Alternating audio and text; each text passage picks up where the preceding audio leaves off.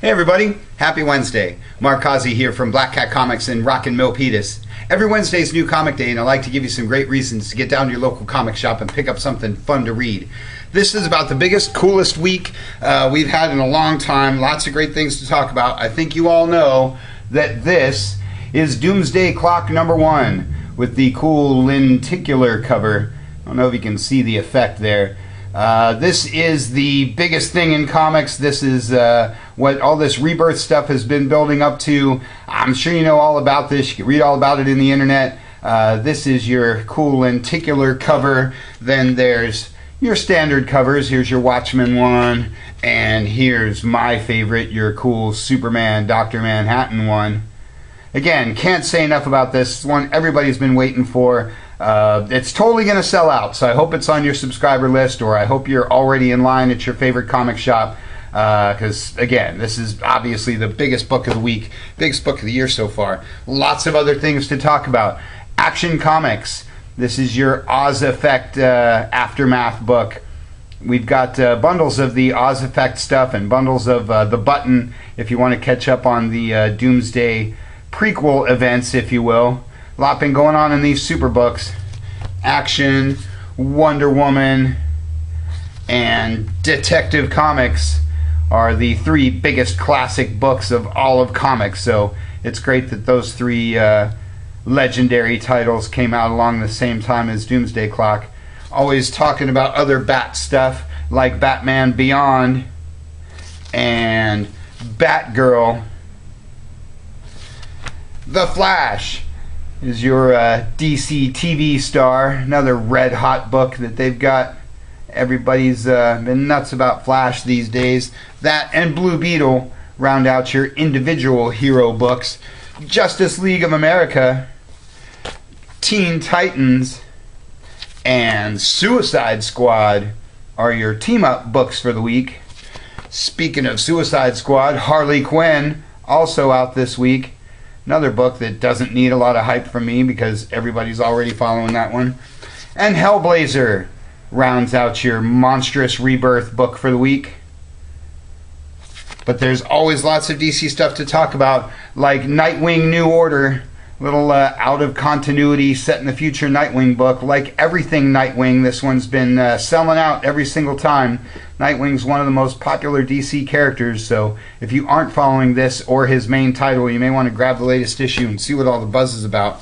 And one of my all time favorites, The Demon, gets his uh, own title again this week. Love me some Etrigan. Uh, a lot like uh, Neal Adams bringing back Deadman. Demon is uh, an all-time great character. So if you don't know much about him, grab this latest issue and find out because that's super awesome. Gotham City Garage is another uh, extracurricular DC book, along with Kamandi Challenge. A little like the Demon, Kamandi is uh, from the mind of the all-time great Jack the King Kirby. Love me some Kamandi Challenge. Every issue is done by a new creative team. They write it into a cliffhanger for the next creative team to figure out. Uh, this book has been just 20 tons of fun. So if you haven't been grabbing this, grab that first issue and, and catch up because nothing's cooler than Kamandi. Astro City is another book I talk about all the time. Formerly an image book, now it's a DC Vertigo title. Alex Ross covers, Kurt Busiek stories, Brent Anderson art. What more do you want? One of the best superhero books of all time. Uh, Doom Patrol is your young animal book of the week. Imaginary Friends is your first issue Vertigo book of the week. Always encouraging you guys to grab those first issues of new Vertigo titles. And Ruff and Reddy is your, uh, I don't know, Hanna-Barbera tie-in book for the week. This one's by Howard Chaykin. Always uh, cautiously recommend Howard Chaykin. I love his stuff, but it's not for the faint of heart. Great, great, great week for the DC guys. Good week for everybody else, too. How about some Black Panther? Uh, this is the second issue of the Marvel Legacy stuff since his returning to uh, original Legacy numbering, taking on the Claw, his uh, original classic villain. Maybe you caught the trailer before the Thor movie. Can't say enough about Black Panther. He's about to be the most popular character in Marvel Comics. Great time to be an X Men fan. This is the latest issue of X Men Gold. This is the first part of the latest arc or the new arc, I should say. Uh, the crossover ended with the last issue. Uh, like I said, great time to be an X fan. If uh, you used to love the X Men back in the day, X Men Blue, X Men Gold are really solid right now. So get up on this latest issue and jump back into X stuff. All new Wolverine. Cable back in his own book. And Generation X round out your X stuff for the week. Like I say, good time to be an X fan. Invincible Iron Man, a little like Black Panther. This is your second issue of uh, the renumbered legacy stuff. Really excited about this book. This is wrapping up what's been going on in the title, but building up to some new cool stuff. Love seeing uh, Victor Von Doom in this book all the time. Again, if you uh, haven't been following Iron Man, grab the uh, last issue and grab this latest one and catch up because that's really fun stuff. Amazing Spider Man Renew Your Vows starts a new storyline this week. That and Spider Man Deadpool are your Spidey books, unless you count Silver Sable and the Wild Pack. If uh, you go back to the 80s and 90s like I do, you love some Silver Sable. This is just a one shot. They've been doing some uh, random back, uh, just individual books like this one in Power Pack to uh, refresh your memory on some classic Marvel Legacy stuff. Thanos from the darker side of the Marvel Universe, and you see him again here on the cover of Guardians of the Galaxy.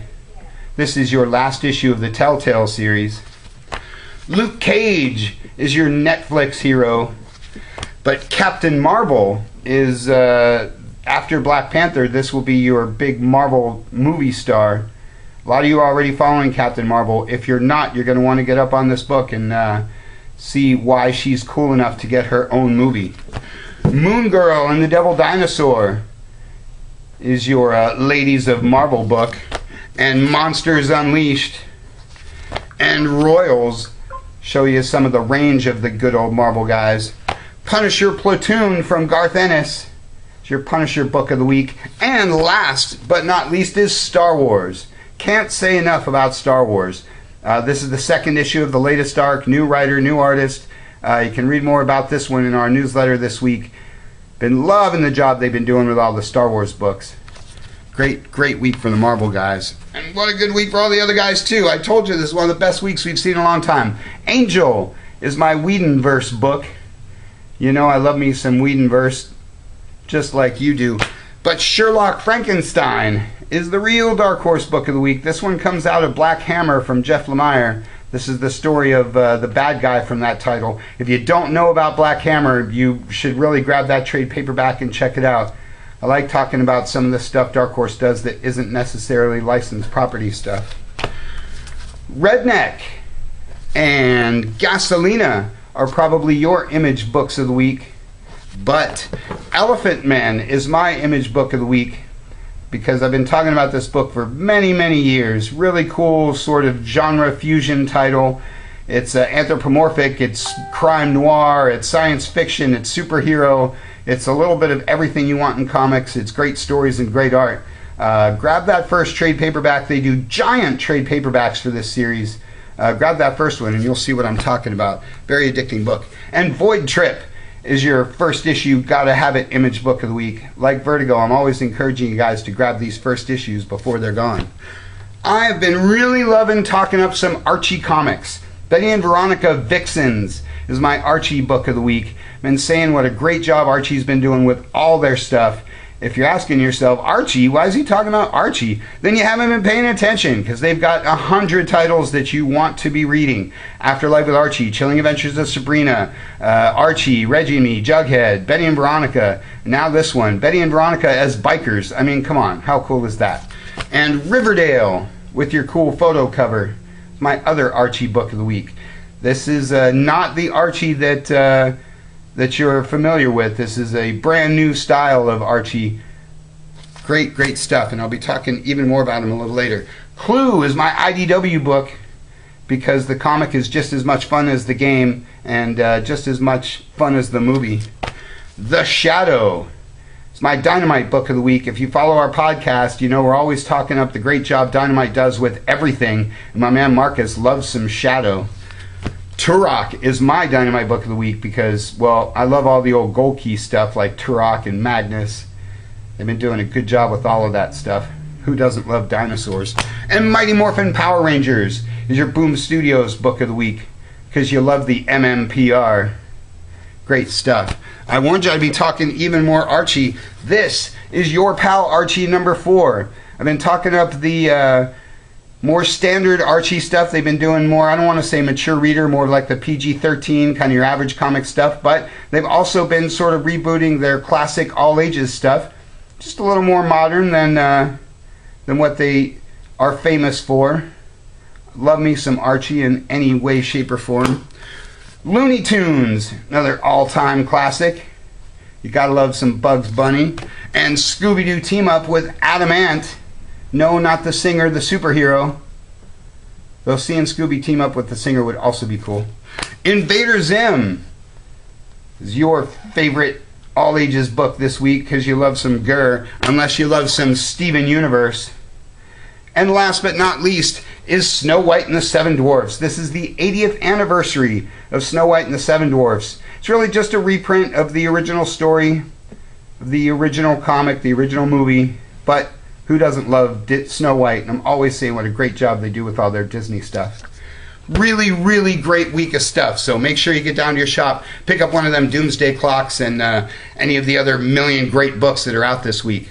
I uh, want to wish everybody a happy Thanksgiving. We'll be closed tomorrow. We'll be back open Friday. And then Saturday is our Small Business Saturday sale. Got all kinds of discounts and all kinds of fun things going on that day. Uh, so check the newsletter, check the events page at the website to get all the info on the big sale. Uh, enjoy your holiday and uh, enjoy a weekend of great shopping. Uh, make sure you get out there, pick up some cool superhero gifts for all your friends and family.